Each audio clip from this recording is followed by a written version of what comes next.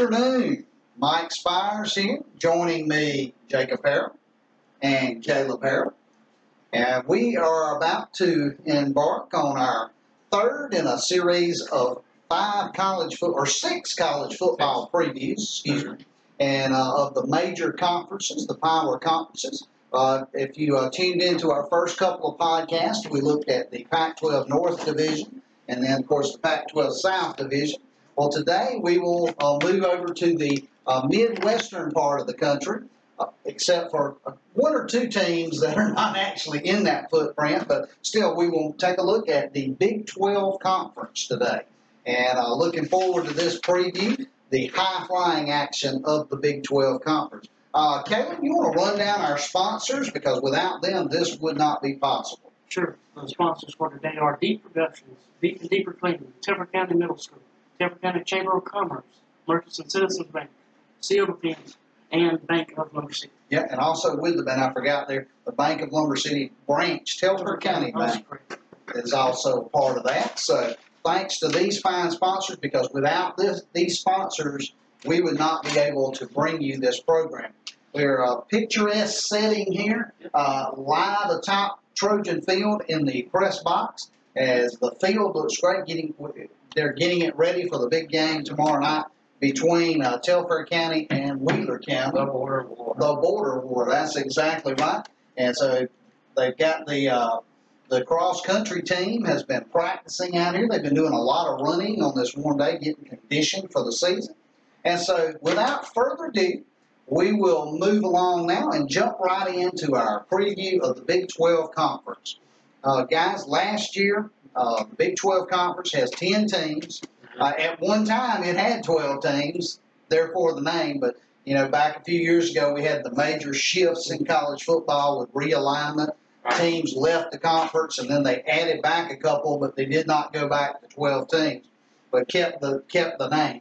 But last year, out of 10 teams, guys, this conference placed eight of the 10 in bowl games. That's that's 80 percent.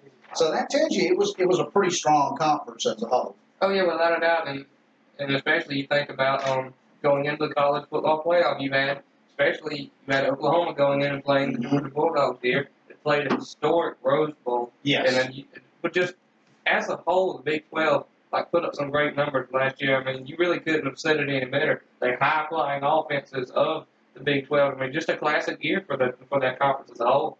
Yeah, no doubt about it. And Caleb, they went five and three as a conference in bowl games, so pretty good overall, uh, especially compared to the Pac-12 that was one and eight.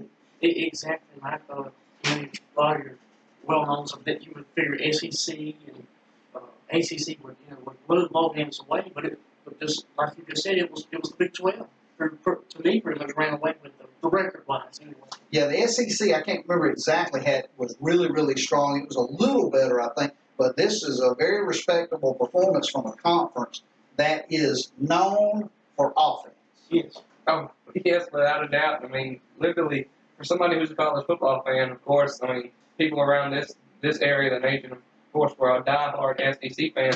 But if you want to see some points put on the board, that's where you need to watch some football at. Yeah, we talked about the Pac-12 being offensive, but the Big 12 takes it to another level. Exactly. Your uh, Oklahoma, Texas Tech, Oklahoma State, Oklahoma State with Mike Gundy. Um, you know, several of those teams were the high flying offense, and maybe every other Saturday they play defense. yeah, And, and and actually, correct me if I'm wrong. I mean, you, if you look at the um, rivalry between the two Oklahoma schools, Oklahoma and Oklahoma State, didn't uh, didn't both of them top the 50 point Yes, range yes. in this last year's game? Uh, didn't one of them get into the 70s? I think. well, it was 62 to 52. Okay, 62 52. So you had over 100 points scored in a game. I mean, if, if you look at the um, you look at the SEC, ACC, or other conferences along the eastern seaboard, I mean, you you hardly are going to see that. No, no doubt about it. I mean, it, it was crazy. And we, uh, sorry, Go Coach, ahead. Mike, but wasn't it also it was over 600 yards of total offense for both teams? Yes, yes.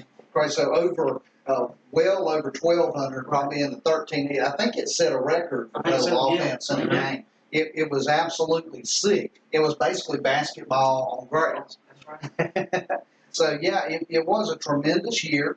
And of course, we talked a little bit about the Big 12 and the realignment situation. Uh, last year was the first year that the Big 12 brought back the Big 12 championship game for the first time since uh, their, their days when they were split into two 16 divisions. But they did it a little differently than, than other conferences. What they did, instead of having divisions, uh, everybody played nine conference games. So everybody played a round robin, played each other, and they just took the top two in the standings to play in the championship game, which means you're guaranteed a rematch every single year. Oh, without a doubt. I mean, honestly, that's the most simplest format that you could really go through with. And of Mhm. course, I mean, you you get the Big 12 champion um, coming out here, which was, I do believe, Oklahoma. Yes, of course, with, no doubt. with, with Baker Mayfield at the helm. I mean, Oklahoma just had a dominating year, which allowed them, especially with that championship game that they reinstated, got them into the college football playoff. Which I mean, people have said before, right when the playoff was started. I mean, a lot of people were saying there's a lot of great teams in the Big 12, but yet at that time they didn't have a championship game. Yeah. You're not getting in if you do not have a conference champion to be considered.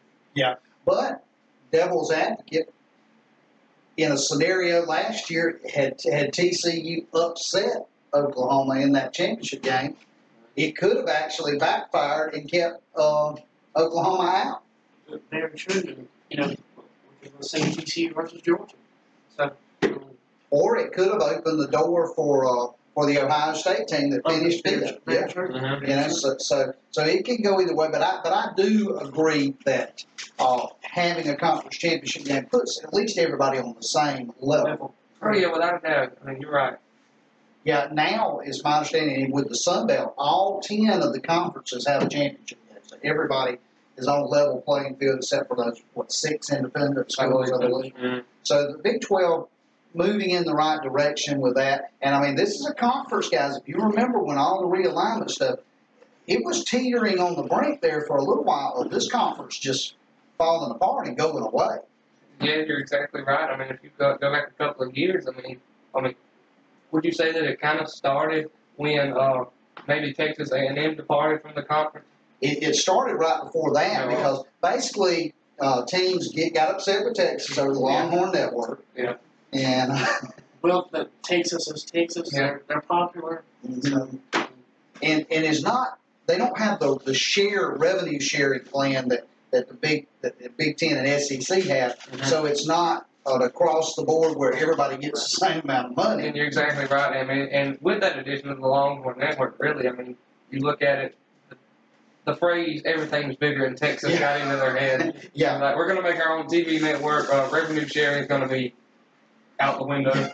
Yeah. yeah. So so it changed the dynamic, no doubt. They did, and correct me if I'm wrong, Mike, didn't they have a commissioner change also? Yes, they also uh, Bowlesby came in as commissioner, and uh, you know when things were teetering on the brink, it appeared at one point that Texas and Texas Tech were both going to the Pac-12. You know, at one Mhm. time when all this this uh, came out, and Oklahoma and Oklahoma State with them. So, but things settled down, and right now they brought in. Of course, they lost Nebraska uh, to the uh, went to the Big Ten, Colorado to the Pac-12.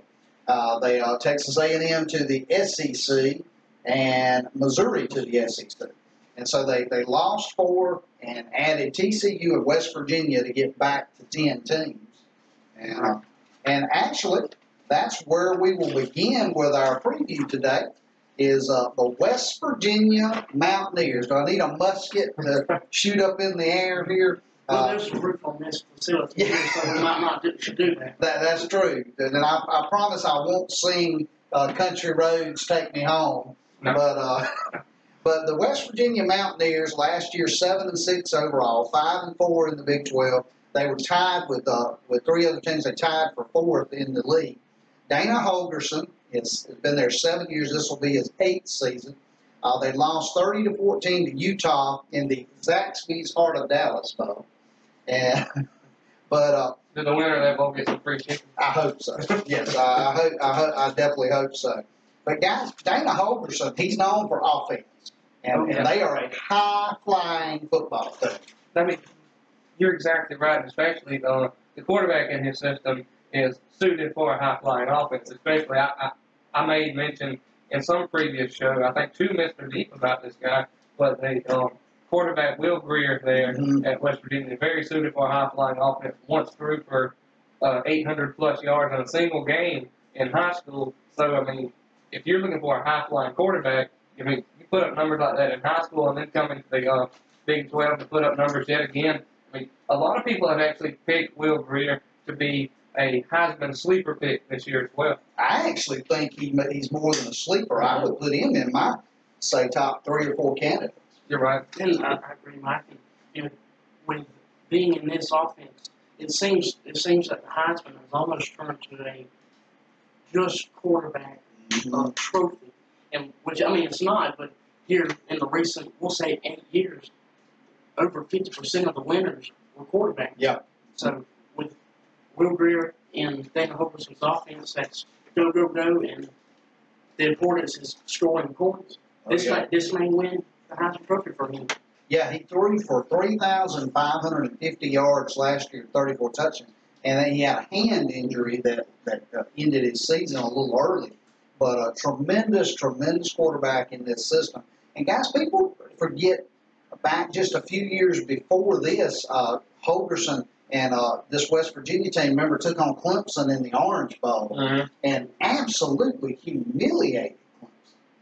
What, 77, I think, or 70? I think that's right. to I can't remember what Clemson score. It was in the 40s, but it was just an absolute beatdown on a major stage. Exactly. I mean, the the Orange Bowl, one of the New Year's, uh, actually one of the New Year's Six bowls. I mean, you look at that. I mean, and you get messed up that bad during the Orange Bowl. I mean, that is kind of um, that is kind of embarrassing, and that really kind of put that really gave Dana Holtzman a lot of uh, recognition to beat a uh, very talented ACC team like Clemson. Yeah, and, and his teams have kind of taken a little bit of a step back. The, the highest they've been able to finish it, and of course that was their last year in the Big East. Mhm. Uh, they the uh, highest they finished in the Big 12 is third. But this year, with a little more of a wide open race, could they possibly be a sleeper team? Yes, because I believe of Will Grier being a senior. His, his leadership of the offense, I think, you know, in in, the Big Twelve, if, if you can score points, you, you'll win the game. You'll, you'll nine times out of ten win the game. Yeah. So I think with you know again with him with Will Grier being a senior and hit him knowing the offense, like they're looking at back of his hand, Mhm. I think I think they would. Do I see him in the championship game? Probably. I would put them. Would you say maybe lose lose the championship game and still would that possibly put them in the playoffs? Uh, maybe. If probably not if they lost that Big Twelve championship game, but if they, uh, it'd be interesting to, to see. I think I think the Big Twelve champion is going to have to come out with one or fewer losses to make it. Two loss Big Twelve champion, a two two loss SEC team could get in. I don't think a two loss Big Twelve team can. No, probably not. And just, just to answer your question here, I mean, I'll make a Georgia comparison. Just just talking about how how Jake Fromm and Javon Williams kind of paired up as soon as they came in. They became basically inseparable. Basically, pass goes up to Williams, ball's caught. It's the same way here with Will Grier and David Sills that you have written that you have written down. here. David Sills the fifth. Da- David Sills the fifth. Actually, if I if I can remember right, I think David was actually a quarterback at one time Okay. and actually was converted over to to to playing receiver, and he's one of the star guys on the uh, West Virginia team. So I think, especially, I mean, of of course, I know there's more talent on the offense, but those two guys in particular, Grier and Sills, seems uh, seem to me that this year they're going to take the bull by the horns and run and basically make a big uh, make a big shot at winning the Big Twelve. Yeah, yeah, I, I agree. And uh, you got uh, and Sills had 18 touchdowns, 60 catches. So. Yeah, uh, I rest my case with Sills. That, that, And guys, they've got Gary Jennings, another top receiver. Marcus Simms, a deep threat. Oh, and they've added an Alabama grad transfer, so you know he's got talent. Yes, yes. T.J. Simmons. So I mean, they got. I would say them and Ole Miss probably compete for the for the top receiving corps in the Mhm. country. And, and so they, they're going to be a fun team to watch. Uh, they lost a 1,061 yard rusher, Justin Crawford, so they got to find a key running back. They're going to turn to Kennedy McCoy. That's kind of the guy they're, they're hoping to be the next. But they got a veteran offensive line. Uh, They've got six starters back on defense. As we said, defense optional in the Big Yes, 12. Yeah. But still, six starters back, that does give them a chance there. They have got to get a little better against the run as they struggled there. But, uh, and they've got to take care of the ball because they turned the ball over 18 times in their last six games. It's hard to win Yeah. turn the ball. That's three turnovers a game. So, so that, that you know, it's going to be interesting. So they're going to be a fun team to watch. And I think we all kind of uh, when we when we had uh, one of our podcasts where we talked about the uh, top 25, they were kind of Mm-hmm. uh, one we talked about a good bit in that Mhm. podcast. So And, keep, keep an eye out for it. and exactly, and I, I believe they have a chance in the Big Twelve. If if, if any year is this year. Yeah, yeah, it, it's a wide open. So, but, but, uh, any more thoughts on West Virginia here before we move to, a, to another team? Well, no, I mean, not really. I mean, just the- more we look, the more I look at these numbers. I mean, I haven't followed West Virginia that much. It's just the two people that I really look at is Grier and Sills from the times that I've watched them. But like you said, it is completely wide open. It's more wide open than really any conference in, in the Power Five this year. So I, I really do look for West Virginia to really make a run and possibly make an appearance in that in, in that conference title game. Yeah, stay tuned. At the end of the show, we'll be making our picks. Yep.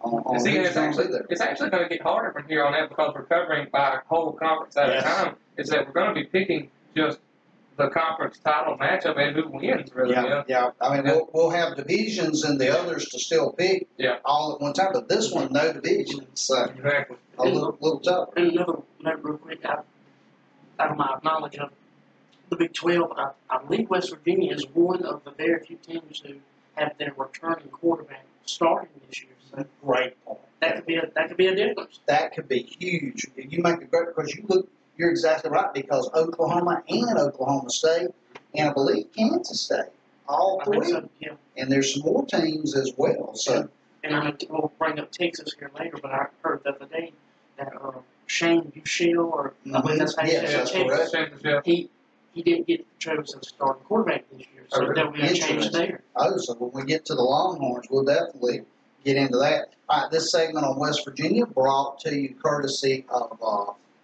Bank of Lumber City and Telfair County Bank. And uh, they have been in our community since 1945, and uh, they are a full service bank. Uh, they offer personal banking, regular savings, commercial banking, money market accounts, online banking, child savings accounts, uh, loans, CDs, see the staff at uh, at uh, Lumber Bank of Lumber City. Also, their branch here in McRae, Telfair County Bank, and uh, thanks to uh, Troy Spires and Stan Jones, Miss Virginia Hand, the whole staff there for their sponsorship, and glad to have them on, on board. And again, member FDIC, Equal housing. equal housing lender. So thanks, thanks to them. All right, guys, let's jump in and we'll talk about the uh, the horn frog. Now, how do you do that? It's something. You something, Something of that Something. nature. Miss Patty is like looking at us like. I mean, by all means, Mike, please don't throw up, accidentally throw up a game sign. Yeah, yeah, yes, yes. Yeah. But that's the horn frog symbol, the, the, the TCU horn frog. learning something new every day. So in uh, in 2017, they were 11 and three overall. They were seven and two in the Big 12. They were the Big 12 runner-up. They got pasted by Oklahoma twice. yeah. Uh, that, that, that that's uh, that's the thing. You got the uh, prize. Oh, you made it to the Big 12 championship game. Yeah, I'm going to beat you again now. Let's go. Uh, but Gary Patterson, one of the mo- another. We talked about David Shaw and Chris Petersen. Just another consistent coach. Exactly, another underrated coach. Yes, very much, very much so. I mean, it, I mean, ever since he really came into um, TCU, he's really turned, he's really made it into a great program, especially for any for any coach that's there for 17 years. You know, you know he's doing something right. Exactly. Just to put it in short terms, if he's there that long, he's doing something right. Yeah, it, beginning his 18th season, he is the dean of coaches in the Big 12 conference. So, Wow, that's I mean, it, quite a statement.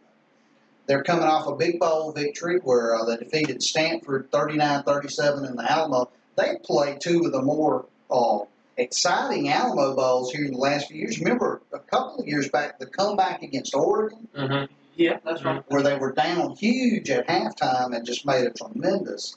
Uh, and guys, listen to this: the Horned Frogs have won 40 games over the last four seasons. Uh, that is right up there with with the with the teams like uh, I mean, it's not. I mean, Alabama's above that, but they were in the same range as the USC's, Penn State's, Georgia's. Uh, another team they were compared to Florida State as far as number of wins in that span. So, so he's obviously doing something right there. It, it, exactly. Um, like you said, he's the dean of the coaches in the Big 12. And another thing is, I believe he's also been considered for other jobs, but Yes. he, he has remained faithful to TCU. And, you know, I say stuff it out, but I mean, there's been good times for him there. And, you know, if it's not broke, don't don't go somewhere else. And, and don't forget, the very first year of the college football playoff, they kind of got shafted.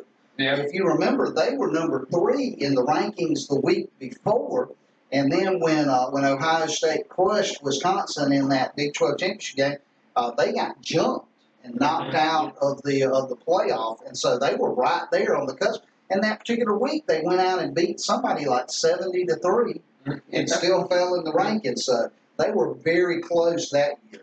Uh, he's always been solid. We talk about defense being optional, but if there is a school in the Big 12 that plays defense, it's TCU. Oh yeah, without a doubt. I mean, to be honest, I mean Gary uh, Gary Patterson may may be really the only coach that really pushes Yes. uh, pushes defense and like really be on his team. I mean, I'm not saying that Dana Holgorsen or um, Lincoln Riley or anybody else that, that that that they don't push defense. Yeah, it's just yeah. it's just TCU just really seems to um, have a certain skill mastered on that defense. It just makes them better than some of these other schools. I mean, they, they seem they seem to be of a more consistent defense as compared to the other ones in the conference. Yeah, they, they always seem to have good pass rushers. Yeah. and you're right, Mike. This past year, when I watched a game two of TCU, and you know, I I, I figured, oh, they're going to brag on their offense, brag on the offense. They bragged on their defense, hmm and I mean if that tells you anything about you know how we state Big Twelve the offense, offense, offense. If just like y'all said, if anybody plays defense in the Big Twelve, it's TCU. And uh, and I mean, you think back uh, before they even came into the Big 12, those teams that the team that made the Rose Bowl that beat Wisconsin, and I believe they were in the WAC, and that was still in the BCS days. Mhm. But that team was known as a tremendous defensive team. Yeah. One of the top in the country. So he's always solid there. And they're going to be led again by uh, a linebacker, Ty Summers. Remember this name, folks. This kid, one of the top linebackers in the country. He's going to be a name name to watch. Uh, but let's walk over to the offensive side of the ball because you talk about quarterbacks. They're also a team that uh, Kenny Hill, Kenny the Thrill Hill, uh, he's gone.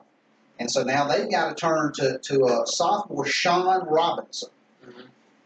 John Robinson, I mean, you know, honestly, I, I haven't heard, I, I haven't really heard of the kid, but you got to think, I mean, I went back and talked about, whenever we talked about, uh, was it Michigan, I do believe, we talked, uh, I can't remember what podcast we were doing, but we were talking about how Harbaugh would kind of have a hard time picking his uh, quarterbacks, and also at Stanford as well, how, um, God, what's the kid at Stanford?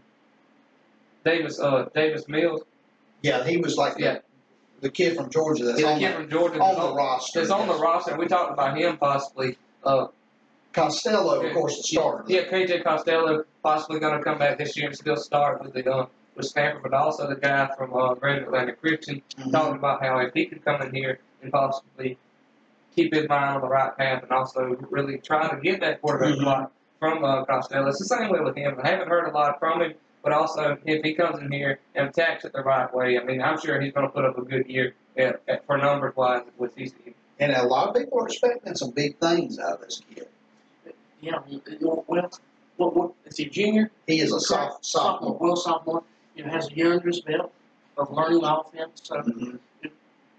I also expect good things. I mean, I don't know much about the kid, but if he if he's anything like Kenny Hill and what, what he was to their offense, I expect another great year.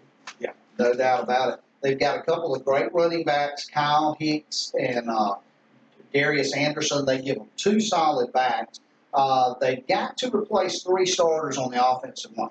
So if there is, we've seen in the past with the University of Georgia before they got this line they've got now, how critical if you don't have the offensive line, it don't matter how many skilled players you have. Exactly. If, your men can't block for you, you can't move the football. E- Exactly. So that's something they've got they've got to shore up. But uh, they've also got to replace some key personnel in the secondary. And in the Big 12 conference, you better have people in the secondary that can cover. Yeah, without a doubt. I mean, uh, as good as TCU's defense has been, with him trying to uh, get secondary people returning and trying to get some new guys in there that really know that defense well, that can really uh, that's good at pass coverage and can keep up with receivers. I mean, yeah, especially with like we go back to the phrase high flying. Like that's no understatement. Like you better have some good defensive backs and a good safety. I mean, that that uh, defensive backs are crucial. Yeah, yeah. And and Patterson kind of is kind of a complex. They play a lot of that combo coverage, uh, similar to what Nick Saban does, where, where there's a lot of uh, uh, different uh, principles of man and zone combination. And that, it, when a complicated system, it's already hard enough to play defensive back, and put yourself in a system like that, it can be tough. Exactly. It's, it's a lot of, I maybe you say maybe a technique type deal. Yes, exactly. Technique. It's it's hard to learn, but you know if you if you learn it, you understand it. It can be from the offensive side. It can be very tricky. Yes, yes, no doubt about it. Yeah, it's a lot of that pat, what we call pattern read that Kirby Smart uses a lot, a lot of that as well. Uh, but uh, guys, they have two great defensive ends, and we know TCU always gets after the passer. And uh, defensive ends L.J. Collier and Ben Bon- Banogu. Wow. So Banogu is going to get to your quarterback. if You don't block him. So Another interesting name. Y- yes, yes. So, any final thoughts on TCU before we uh, before we move on to another team here? But yet again, TCU's got some, um, just like every team. I mean, every time that a, uh big class of seniors leave, they got some recovering to do. But yet again, I think TCU's gonna be gonna be a contender. I agree. I, I agree. And uh, that segment on TCU brought to you courtesy of CL Defense, best little gun shop in uh, Georgia. And of course, uh, CL Defense, uh, they got you covered. Got you coming. And so, uh, uh, see Chris and Lamar, and they'll treat you right on on guns. great prices on guns, and then like you said before in the post game show, if he doesn't have it, he can get it within uh, possibly two two to three days. I mean, basically, he's got he's got everything he wants. He just to give a little PSA for him. Uh, he like he said yesterday in the um, post game show, he's got a overstock of Glock. So if you want to go out and go get it from him. Yeah. Uh, ex- exactly. All right. Why don't we, uh, this next segment, we'll just combine it with the, both the Oklahoma schools. Okay. And so we'll look at Oklahoma State and Oklahoma to start with. We'll start with Okie State, 2017, 10 and 3 overall, 6 and 3 in the Big 12. They were the third place. Mike Gundy, 13 seasons. This is 14. They defeated Virginia Tech 30 to 21 in the Camping World Bowl. Guys, he's won eight bowl games in his in his tenure there. Uh, six double-digit win seasons in the last eight. They were the 2011 Big 12 champion. So remember they uh, they defeat did they defeat Stanford in that bowl game in the Fiesta Bowl? Thanks. So I believe so. Kicked the field goal late. so. But uh, but they were that was a tremendous. That team was extremely close. Uh, other than an upset against Iowa State, they could have played for a national championship. true. Very true. Very true. It was it was really good year for him. And that was, of course, the week of the the tragic uh, plane crash involving some of the people on the Oklahoma State campus. You Yeah. remember? So Uh-huh. so that was a tough time for them, and they they had a great season.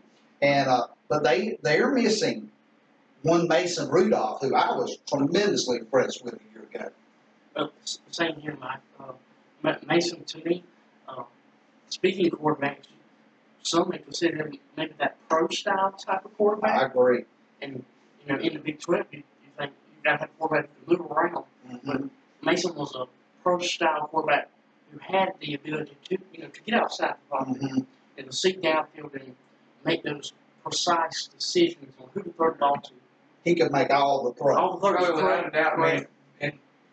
Me too. Uh, I was a huge fan of Mason Rudolph, and I believe he's going to be a great quarterback. And he's a Steeler now. Yeah, that's right. So he could be the heir apparent to Big Big Ben Roethlisberger. And of course, we talk about uh, Roethlisberger, who is out right now with a um, with a concussion, I do believe. Mhm. And so it's basically going to be between him and Landry Jones, former uh, former Oklahoma yeah, quarterback, that's right. uh, former Land, uh, former uh, Sooner. But I mean, just Mason Rudolph. I mean, make a Caleb made a good uh, good point. He was uh, he is agile. He's not your dual threat quarterback, which isn't a bad thing. He's able to extend that pocket, get outside, look for a good throw. I mean, just he trusts his offensive line. Yeah, if they give him some time, he'll make a great decision. And he's one of the most accurate quarterbacks that I've really ever seen come out of the Big 12. Yep, I, I agree. And he had two uh, really good receivers to throw to that are gone.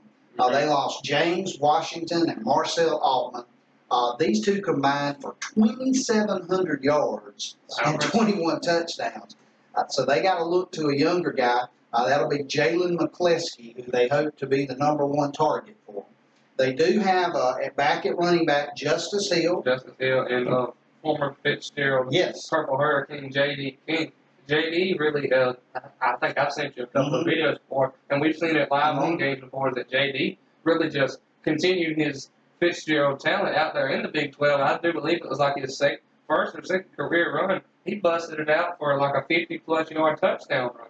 Yeah, he was. He was. Remember, we used on those tailgate shows just be at all of, of his numbers he was putting up at Fitzgerald. It was almost like he was running for 10,000 yards a game. No, no, I'm joking. Uh, anyway, he. If, if you know Fitzgerald football, Yeah. you uh, this kid was to me top chart. I mean, and, and just just make one little continuous point about him, and then we'll uh, then we'll move on. Is that um Justice Hill yet again? I do believe he got the majority of the snaps at running back. But Mhm. JD was also a great compliment. It was kind of that uh, Gurley Marshall Yes. comparison, I guess you could Good, say. good comparison, Joe. So, but also Justice Hill coming back is a big, uh, big thing for them, and JD King will be another great compliment to Justice. But just, but just all around, I mean, if if you want to talk about running back cores in the uh, Big Twelve, the edge has got to go to OK, uh, to OKC. I agree. They got L.D. Brown too, another top notch. Uh, defense coordinator uh, Jim Knowles is coming in. He's bringing in a new four-two-five lineman, so very similar to what TCU does. Uh, maybe the Big 12's best pass rushers on this team in Jordan Brailford, so keep a listen out for him. And they also have two really good outside linebackers, Calvin Bundage and Justin Phillips. They're real high on them. So they're looking to get better on, on defense. You know, the struggle there, they, they, they, they just need a little more defense. You know that Mike Gundy's team's going to put up points. Oh yeah, well, without a doubt. I mean, we uh, we referenced the matchup last year between these two teams here, where um, uh, 600 plus yards from both teams in that matchup with the um with the Oklahoma State and Oklahoma battle. Just uh, all around, Mike Gundy is a uh, great coach. Like yet again, another guy's there for uh, 10 plus years. He's doing something right. Mhm. He's but he's busting out a great team every year. I agree. And we did one thing I didn't mention: the quarterback battle is between Dru Brown, a uh, transfer from uh, Hawaii, and uh, also the the guy that backed up uh, Rudolph a year ago, and that is Taylor Cornelius. Mhm. Looks like Cornelius probably has the edge there to win that job. So I would say so because I, I actually have watched a couple of uh, Oklahoma State games and I have seen Cornelius come in Mhm. there like if they want like if they want to give Rudolph a rest or uh, or if they have a big points lead uh, late in the game. Cornelius really coming in there and he's just basically picking up where Rudolph leaves off. yeah, Mike Mike Gundy doesn't get enough credit for what he's done there. All right, let's go across the state of Oklahoma. Uh, Oklahoma Sooners last year, 12 and 2 overall, 8 and 1 in the Big 12. We know they were the Big 12 champs in Lincoln Riley's first season. And of course, we know as Georgia fans what happened in the Rose Bowl. It, uh, that was a pretty good game. Yeah, yeah, yeah. yeah. As uh, Oklahoma, Georgia came back from a huge 17 point deficit to win that game 54 48 in double overtime. And of course, the, the big question for the Oklahoma Sooners who will replace one Baker Mayfield? Just right off the bat, I would probably say the uh, the the favorite or what it's Mhm. leaning leaning into about who will replace him. It's looking to be Kyler Murray. Yes. It's really looking to be Kyler Murray, especially like I talked about in one of the early shows. I think I think this was before we started the preview. We Yes. talked about Kyler Murray with him being drafted by the Oklahoma, Oklahoma the Oakland Athletics. by the Oakland Athletics, and uh, there was a clause in his uh, contract where they said that he could go back to Oklahoma, play the 2018 season uh, as the quarterback, and that's if he chosen to be the starter there by Lincoln Riley, and then he would have had to report to spring training that next year. So I mean, right now it's looking to be Kyler Murray because Kyler Murray was a great quarterback at uh, was he at Texas? Uh, was he at Texas A&M? I think one Yes, time. yes, that Transfer from correct. Texas A&M. So uh, so he got a couple of snaps there. He, I mean, he really made a, uh good impression at Texas A&M with Kevin Sumlin as well coming in here and just yet again. I mean, I'm comparing him. Uh, so uh, don't don't really disagree with me on this part. I'm comparing him at, to this person as an athlete, not a person. So he kind of reminds me of Jameis Winston because of him actually how how good he can run Mhm. around in the pocket, scramble and get some yards, and also a uh, dual sport athlete as well, being the center fielder for the Oklahoma baseball team and the starting quarterback for the uh, football team as well. Just an all around great athlete. Yeah, no doubt. might make a quick point there. It's, to, to me, it's it's kind of inter- interesting. You know, if he gets the nod of starting quarterback, he's on he's under contract for the Oakland Athletics. Yeah, yeah, that's, So, say for example, now I sure don't hope this don't happen, but say he comes out and he ruptures his Achilles, he tears his ACL, or he, or he has some sort of season-ending injury. Mhm. You know, if I'm the general manager of the Oakland Athletics, I have a problem. I was gonna say I- if, if I were the, if I you if, great point. If I were the GM of the Oakland Athletics, well, I mean, like he said, yeah, I mean, the uh, the Oakland A's front office staff isn't going to be very happy with the university or Lincoln Riley in particular. Yeah, that's true. Of course, the A's are allowing him to do this. Well, right. Yeah, they, they, they're allowing him to do this. So, I mean, if he were to get hurt, I don't necessarily want to call this blame, but take it in mind, you let him do this. Yeah, Yeah. yeah, yeah, you're right. All right, looking quickly, uh, they lost, you remember Mark Andrews, the outstanding tight end. They lost him, but they've got wide receiver Marquise Brown back. And they got running back Rodney Anderson, uh, who rushed for 1,100. He was impressive in the game against Georgia early on.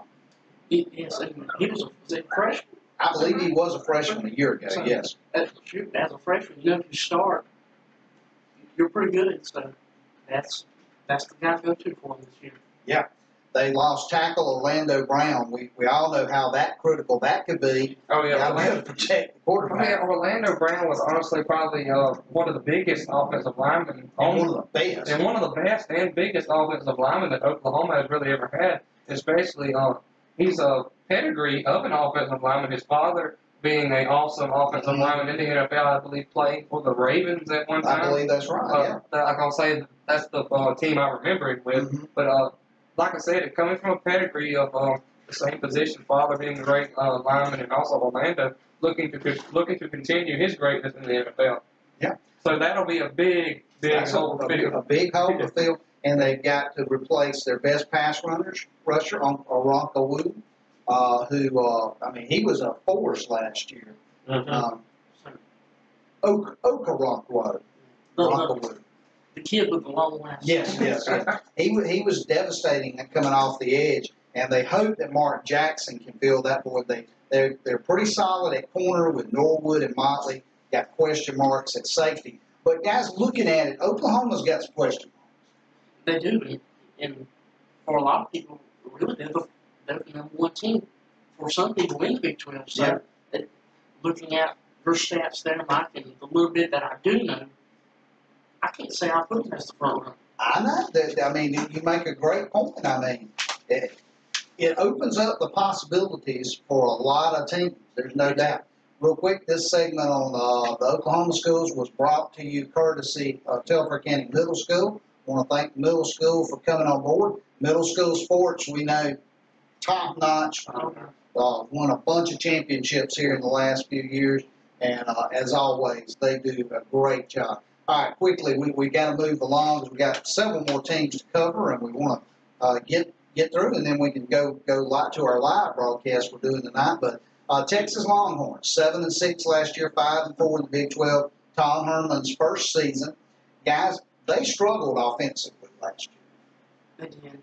Um, and this is the second season, correct? Yeah, this is the second. Yeah, I was referring to last year. Okay, being I got first. you. Yeah, you're right. Yeah. Last year it, it was a struggle. It was, but I think maybe it was an adjustment. Yeah. Type period of learning the offense and you know learning, for lack of a better way to put it, the Tom Herman way. I guess. Yes, yes. Learning his his his standards and stuff. And I think then off season we saw the recruiting class that they brought Mhm. in. I think uh, it was top ten, correct? Yep, yep, he's I mean, So a top ten class. Uh, I think this is uh, proof of the direction of the program. I think this is the way the program is heading, and it's tr- trending up. yeah, and you make a great point, because I believe they've got a, a top ten class for this next year in the works as well. You know, Texas is coming back on the map.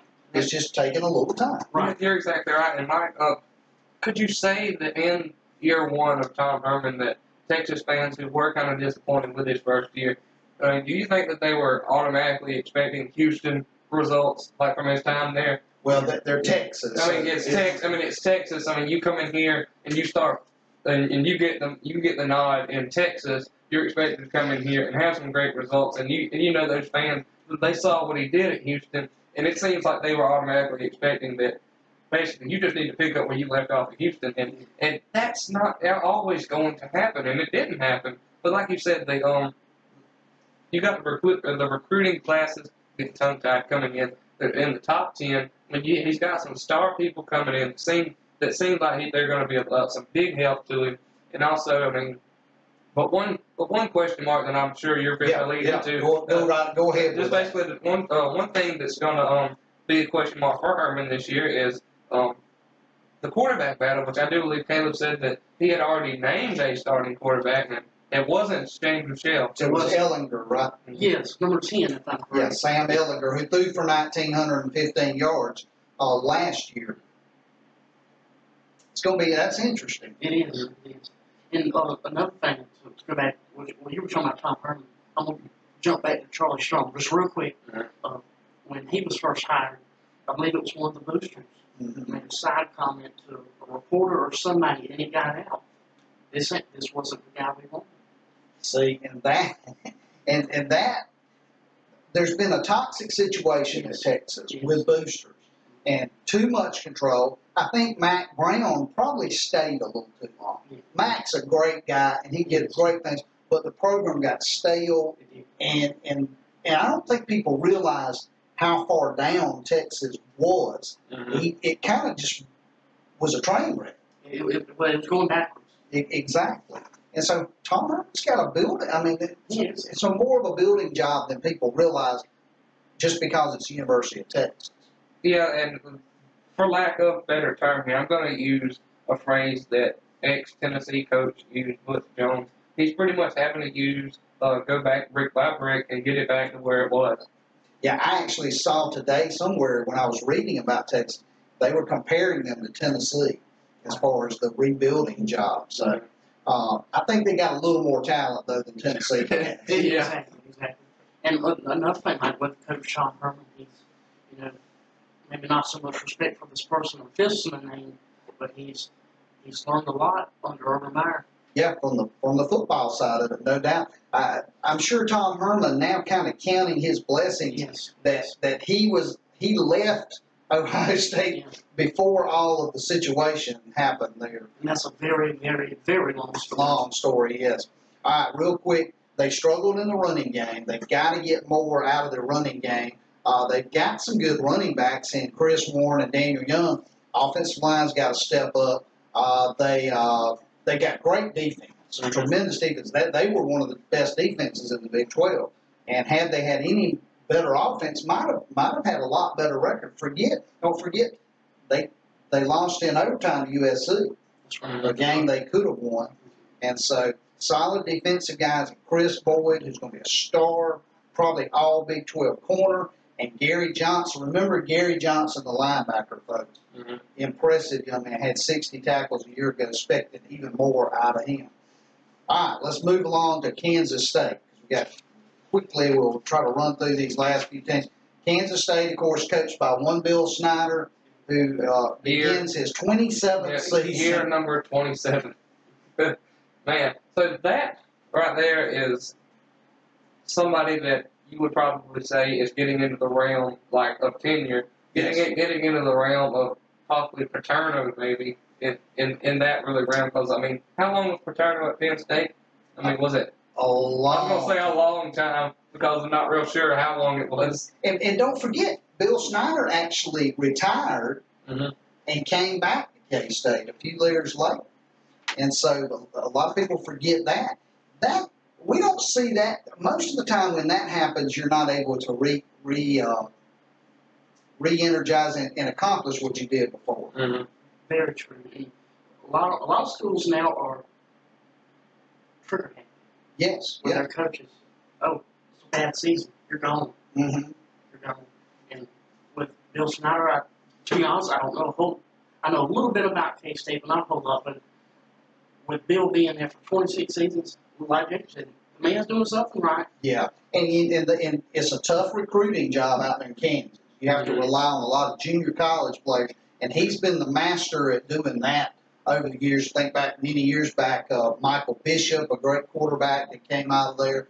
So he's had a lot of success, and uh, he's going back more to a, a two quarterback system, which he's done before and had success. Uh, Alex Delton and Skylar Thompson. Thompson's more the thrower. So they're going to rely on that. They've got to get better on third down. They struggled there a year ago. But one of the things when I think about K State, I think about physical, hard nosed football. They're not flashy, and they always play solid defense. And uh, they got a JUCO linebacker in uh, Daquan Patterson. They're looking looking at for big things. A, uh University of Virginia grad transfer in Eric Gallant, and uh, also Elijah Sullivan. So again, he's mixing these grad transfers and JUCO players, and you know he's just it's a trem- tremendous job that he's done there, and and they're solid. Don't count them out, guys. I mean, no, you're exactly right. I mean, Bill Snyder is Bill Snyder. I mean, I mean, he, when he makes decisions, I mean, he's doing that, of course, for the betterment of the program. And he's a smart coach. I mean, you don't stay somewhere for 27 years if you are, if you're not a smart coach. And and guys, people forget back in 1998 that this team was this close to playing for a national championship, and they were upset by Texas A&M in the Big 12 championship game, or or they or they would have made it. All right, quickly moving along, 'cause we're we're we're running out of time here. Uh, let's talk about the Iowa State Cyclones. They pulled off one of the biggest upsets in all of college football last year. They did uh, uh, upsetting the one and only Oklahoma Sooners. It, it, exactly, Mike. Uh, Coach Matt Campbell, Yes. who to me was, I thought when the Tennessee job come open, I thought they're going to fly to Iowa State. And going to say, here's your pen, it's time to sign. But they didn't. And, and I, I think a lot of, of Coach Matt Campbell, he's, he's, he signed an extension at Iowa State. Uh, he's remaining faithful to Iowa State. And la- this past season, you know, the big win over Oklahoma, and not just not just that game, but throughout the whole season, they, they it was a good, really good season, and I, I think you know, I think they're sleeping this year. Uh, yeah, I mean, everybody thought he was going to end up somewhere at a big Right. job, but, but he didn't. And they got a running back. Remember this name, David Montgomery, might be the second best running back in all the Big 12. Doesn't get a lot of credit. Uh, they got a quarterback battle as well. Uh, quarterback Kyle Kemp returns. He threw for 1,700 yards, but they've also got a big time recruit in Real Mitchell. Remember him. On the defensive line, 306 pound uh, Ray Lima. Uh, they've also got a cornerback in Brian Peavy, who was their leading tackler, 88 tackles. Their biggest problem a year ago was they couldn't hold leads late. And and I, I, to me personally, I kind of expect that from a smaller type of school. Who, Mhm. you know, they don't they don't have a good way to put it. Uh, not that they don't have the quality of athletes. It is at times smaller schools struggle, you know, finishing, Yes, finishing. yes. And and and we saw that a little bit last year with Iowa State. But I think, you know, again, go back to the Oklahoma game. I, I believe that game went late. Yeah. And they, they come out and won. So I think again, this this is a team who is moving forward in a positive way. Yep, I agree. All right, real quick, Texas Tech, of course, coached by Cliff Kingsbury. in his sixth season. They lost the Birmingham Bowl to South Florida. Guys, everybody thought Cliff Kingsbury was going to get the axe last year. And, you know, honestly, it, it, it was starting to look that way. But I mean, Cliff Kingsbury, who is, um, which of course, I mean, he's not no veteran head coach by no means. He's, I think he's like the third youngest coach in, Yes. in college Mhm. football. I think uh, just right above him is uh, PJ Fleck, and then there's one one other guy who's at a smaller school who is the youngest guy in college football. Mean, but Cliff, Cliff Kingsbury, which I do believe he knows what he's doing. But of course, if he probably has one more uh, below average year, he may get the axe. To be honest, but I mean, but I've got but I got faith in Cliff Kingsbury. But I know yeah, Texas Tech is one of the schools that really have more question marks than a lot of other teams in this conference right now. But I, but I think I, I'm hoping Cliff can make an improvement. that they should score points. I know that they've got to find a new quarterback as well. Uh, but uh, it'll be interesting to see they've got uh, McLane, Carter, Jett, uh, Duffy, both of them. Probably Carter, I would say, is going to get the edge at quarterback. But everybody's excited because for once Texas Tech may finally have a defense. Mhm. And uh, it's going to start with Dakota Allen, one of the best all around outside linebackers. Uh, also, they got Jordan Brooks, a big thumper in the middle, a linebacker. Uh, with these two, they combined for almost 200 stops a year ago. Rico Jeffers uh, is looking like another one that's going to be a top. So, with the defense to go with the offense, maybe this could be the year that Texas Tech can take another step. Oh yeah, I believe so. You know, just to give credit to Athlon Sports right here for what I'm about to read. Um, it says Kingsbury struggled to field a successful defense during his five-year tenure, but there are signs that coordinator David Gibbs has his unit moving in the right direction. So uh, it says in 2017 they al- they allowed 32 uh, points a game. That's down from 43 points a game in previous years. It says with nine starters back, which is a good thing. Uh, they're moving forward in a re- uh, with nine starters back, another step forward in a realistic expectation. So and also high-powered, uh, high-powered offenses are an annual tradition in Lubbock.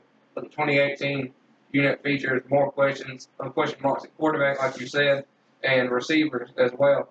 This is with an opener against Ole Miss and five Big 12 road games. Um, they have little margin for error this year. Yeah, they're going to be really tested. Really looking forward. There might be uh, 70, 80 points scored per team in that Ole Miss Texas Tech game. Probably so. All right. Oh, go ahead, Kevin. Real, well, real quick point, uh, from, I believe we, me and Jake have the same information. Uh, according to this, it says one position group on offense that, uh, is solidified heading into the fall is the offensive line. Yeah. So, so that that could be huge for them, especially with breaking in a new quarterback. You, you've got gotta have gotta have a solid offensive line there. All five of their starters will return this year. All right, so so that that could be a huge key for them. All right, real quickly, Jake, we got two more teams to cover, and that is uh, Kansas and Baylor, uh, the two bottom feeders in the conference. But run down a little bit on them, and then we'll jump into our predictions so we can uh, wrap up and get ready for. Well, with. Athlon Sports in their top 130 for 2018, the Jayhawks are ranked uh, 116. Um, so, if one wants to take the optimistic view of Kansas's upcoming season, it starts with this: the Jayhawks, according to Bill Connelly's research at uh, SB Nation, they returned a combined 91% of their offense and defensive production from last season, the second highest mark nationally behind only Michigan State. Though that's usually portends good things that there's a lot of, of ground for KU to make up. Since for the fourth consecutive year under Kansas coach uh, Dave Beaty, did I pronounce that right? yeah. Since the Jayhawks will enter fall camp unsettled at quarterback, former junior college transfer Peyton Bender returns after an inconsistent first year with Kansas, and he was pl- replaced by or replaced late by more mobile Carter Stanley, who didn't perform any better. Uh, the five foot ten Miles Kendrick will enter the year after, um, after leading College of, uh, of San Mateo to the California State Championship game last season. Says with better help, KU's running backs have potential to be the uh, to be the team's best position group this year. And also at receiver, you got Steven Sims as the team's top returning playmaker after earning the Jayhawks' highest offensive grade from college uh, from College Football Pro uh, Pro Focus in 2017. The uh, Houston Speedster's 59 catches, nearly double than any of other any of his other teammates. While he has 839 yards, catching the six touchdowns. And just basically looking at the final analysis from Athlon here, says KU finishes 1 and 11 in, in 2017 with its only win coming in the season opener, against F, FCS opponent Southeast Missouri State. It says um, uh, Beaty's record stands at 3 and 33 in three seasons. So uh, threes are wild there. With, only, with his only FBS win coming against Texas in 2016, says the stakes will be high in 2018 if KU struggles to start this season. The move could move could come in a hurry. Yeah, uh, so if you're a Kansas fan, uh, what when does basketball season start? I think that's the more common question.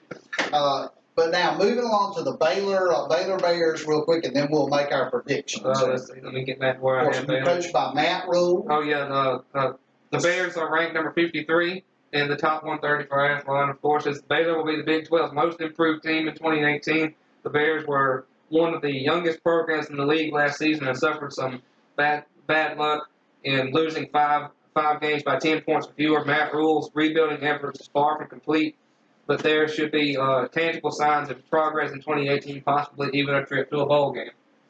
Okay.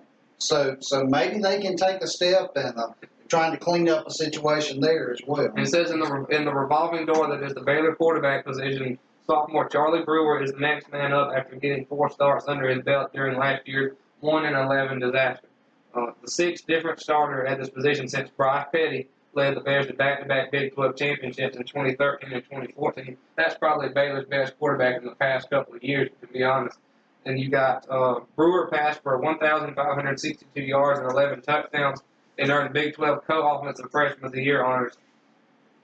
So the only other scholarship quarterback in the spring was early enrollee freshman uh, Gerry Bohanon from Tiny Earle, Arkansas. Jalen McClendon, a grad transfer from North Carolina State, is set to join the team in the summer. Let's see, you got uh,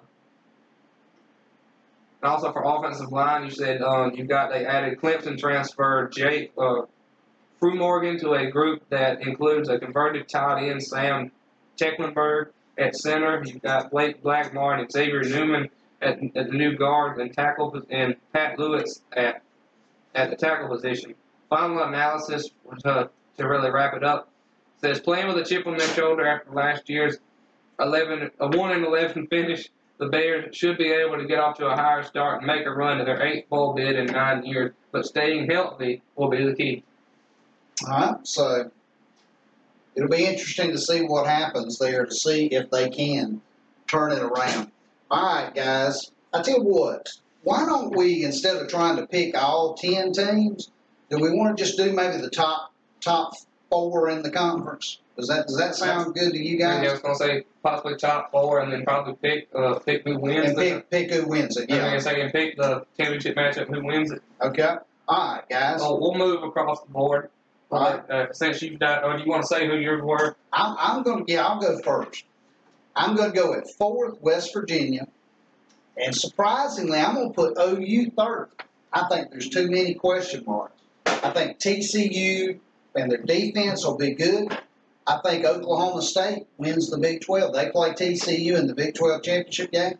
And uh, the Okie State Cowboys win it all. That, that's my prediction. Okay. Uh, number four, I'm gonna I'm gonna go to Oklahoma number four. Like you said, Mike, there's to me, uh, Oklahoma have they, they have more questions than they do answers at this time. Uh, at number three, I'll go I'll go West Virginia. Number two, I'm gonna I'm gonna say Oklahoma State, and then uh, TCU number one. Okay. All right, Jacob gets last chance here. Well, going at number four, I'll have to go with Caleb and say that Oklahoma's going to uh, be at fourth. I mean, I'm looking for big things from Kyler Murray this year, but I just don't think they'll get it done. So uh, going at number four will be Oklahoma. Number three, um,